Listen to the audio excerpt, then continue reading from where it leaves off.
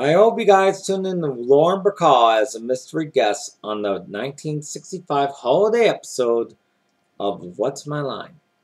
Before, up next, before she played Jason's mama in Friday the 13th Part 1 back in 1980, she tried to make sure she, Betsy Palmer's on a classic 1957 holiday episode of To Tell the Truth. And it's coming up next.